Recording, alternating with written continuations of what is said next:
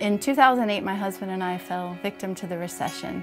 At the time, we were living in Florida in a three-bedroom house and running a restaurant, which unfortunately we had to close. We realized we had to do a major downsize, so Carl came up with this plan to go ahead and build a tiny house. The tiny house has a footprint of um, 168 square feet.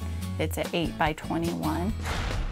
So when you walk in, you have a foyer and then just beyond that is a built-in couch that we made and it opens up. Then in the kitchen is just across from the bathroom. We have a full shower and if you go up above the bathroom, the kids share a loft. This is Ella's room where she stays with her brother. And then our loft is on the other end of the house.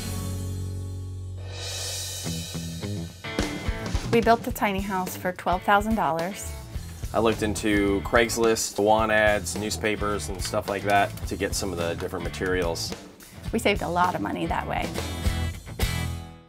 Because our space is so small and it's super insulated, uh, we have a very small electric bill. It was about $40 a month. But we just have exactly what we need and not a whole lot more. We've actually been able to put my salary in the bank every month. The tiny house is part of a long-term plan to build a mortgage-free, larger house, but that house will still be small so that we each have our own space just to get away and be alone for a little bit. And also we really like a bathtub.